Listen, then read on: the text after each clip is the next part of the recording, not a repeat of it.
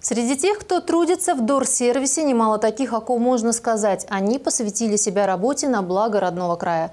Все они собрались в актовом зале предприятия, куда пришел и глава муниципалитета, который в эти дни посещает различные организации Ленинского городского округа.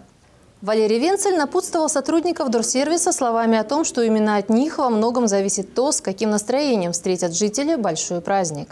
На вас лежит особая ответственность, задача тем более сейчас осталось не так много времени до 14 сентября, когда мы будем отмечать этот праздник. Мы должны э, привести в порядок нашу территорию. Валерий Николаевич затронул вопрос улучшения работы самого предприятия. Сказал о том, что уже пересматривается штатное расписание, планируется закупка новой техники. Все это нацелено на работу дорсервиса во вновь образованном городском округе, отдельным территориям которого раньше не было уделено должного внимания. После глава района поблагодарил сотрудников, которые долгие годы преданы своей работе и вручил им юбилейные медали.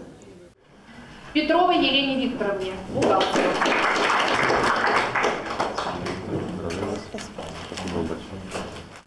Среди награжденных Борис Титович Марьин, один из ветеранов Дурсервиса. 25 лет назад пришел он на предприятие. По возрасту давно уже пенсионер, но продолжает трудиться, делая уютнее родной уголок Подмосковья. К слову, так можно сказать о каждом из тех, кто получил в этот день заслуженную награду.